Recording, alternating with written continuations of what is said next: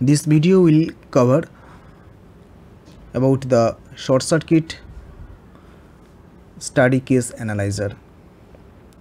Let's run quickly the short circuit study case. Here it is in dual feed configuration. That means two incomer breaker breaker closed and bus coupler breaker is open. And here is the case AC max. Let's go to the device duty as per IEC 60909 let's run this three phase device duty. That's fine. Now to see the output results just like the load flow analyzer what I already have covered in a separate video. Likewise here is the here is the short circuit study case analyzer IEC short circuit analyzer. Let's go here. Yeah. So this is short circuit duty analyzer. Here this is as per the standard IEC as per IEC standard. Study type this is three phase device duty. And there are three configurations maximum short circuit current.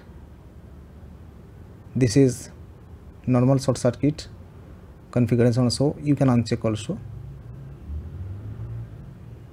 And this is minimum short circuit condition. Okay. Here this is device duty. This device duty or general this is general you can check from here.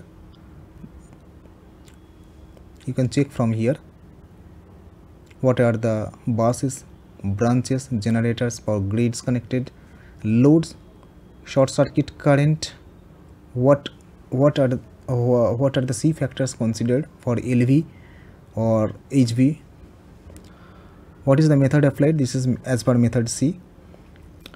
And this is c factor so all these things you can check. And let's go to this device duty which is the topic today. Okay. Info this is info column. This is the info and this is these are the results. These are the results. So first let's discuss about the results. What we can get from these results. We can get the symmetrical currents I double dash K, IP peak value, IB symmetrical, IB asymmetrical, IDC that is the DC current, I thermal, thermal, thermal current. So these are the results we need to check from the short circuit study. That's why we uh, that's why we perform the short circuit analysis because this is for the duty evaluation duty evaluation means we need to check the symmetrical short circuit component. Asymmetrical short circuit component because it is required for the circuit breaker that protective device circuit breaker capability IDC because based on the IDC the asymmetrical asymmetrical peak value will be changed so we need to check that also. Asymmetrical asymmetrical value the idc i thermal is also required for the circuit breakers. So these are the results we need to check. And here left hand side these are the info. What info uh, we can check? Here what is the voltage level? So if you don't want you can simply uncheck. And here that column is gone. Here is the type c factor if you want to get the c factor information also. It is there. You can check uncheck. Okay. Minimum time time delay rated ip if you want to uh, highlight here what is the rated peak current? What is the rated symmetrical current? What is the rated asymmetrical current? Rated i thermal rated thermal energy. So all these things are mentioned here if you don't want to check you can uncheck this one. Okay. Okay. That's fine.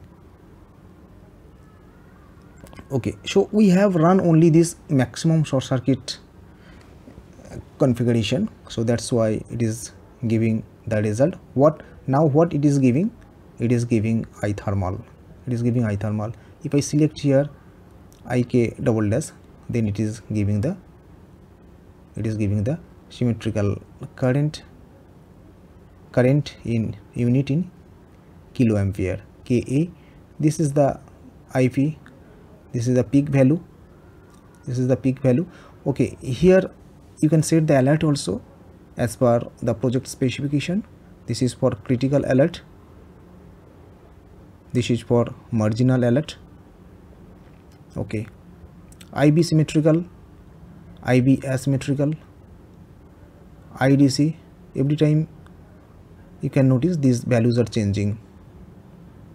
This is i thermal okay. Okay. So these are the rated values. Okay. If i uncheck this suppose for only for the AC max configuration case I want to check all the output results at a time. So in that case you have to select only single case. So in then only you can get this option to select as much the output results are required. You can select but if you select more than one suppose this one you can see at a time you can see only one output result. Let's select only one case scenario here. So all the values you can get ik double dash here ip ib symmetrical ib asymmetrical idc i thermal thermal energy it is in red because it is in critical margin. Anyway so you can you can check uncheck whatever whatever uh, data whatever output results you want to get. And also you can export you can export this data. You can export this data here